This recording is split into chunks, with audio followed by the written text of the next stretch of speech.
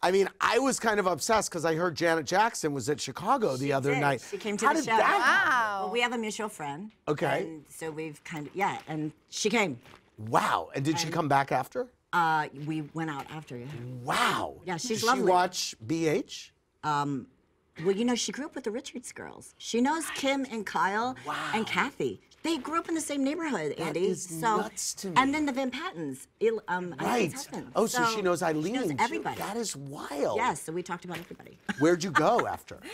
we went to the peninsula. Oh, I like it. Yeah, me too. Oh my God, that. Yes! Were you staring at her the whole time? No, I purposely don't stare at anybody. Right, you I don't. Just kind of look out, and then Right. just that way I don't make contact. So I'm not gonna make eye contact with you. Okay, fine. I don't expect it.